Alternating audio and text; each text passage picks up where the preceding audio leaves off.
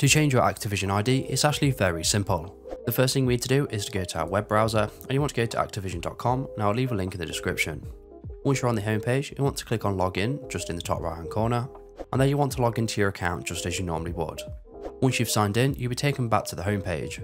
From here, you want to click on profile just in the top right hand corner and you should be taken to the back end of your account. From here, you want to click on basic info just to the left hand side menu and then where it says Activision ID, you want to click on edit just to the right of it. You will need to verify your account first, so you just want to click on send code. And then you want to enter the codes that you have been given and click on submit.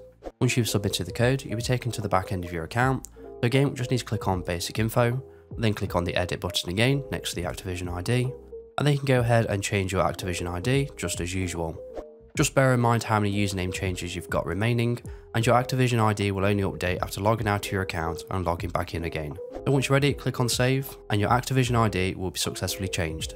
And that's it. So if you have any questions or comments, leave them below and I'll reply to you as soon as I can.